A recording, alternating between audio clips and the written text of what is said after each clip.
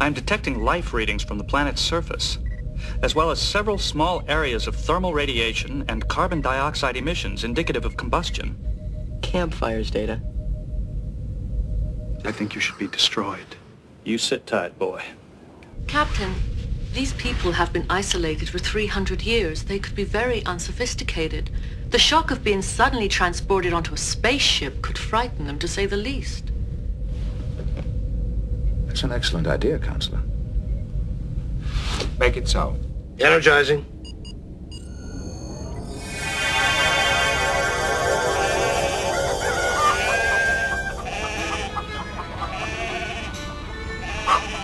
Unseal the doors.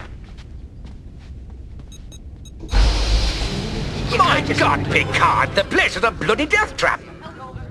I think he's on to you, sir. Hmm. Shouldn't you be flying this ship, or whatever it is you do? Number one, I want them Dead. in one hour.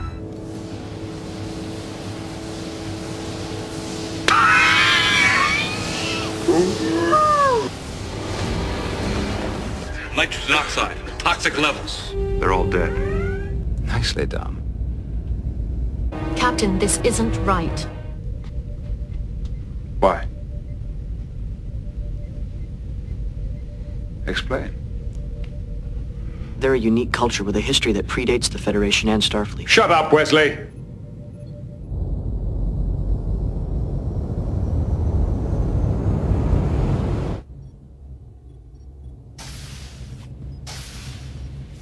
Hi, Mom.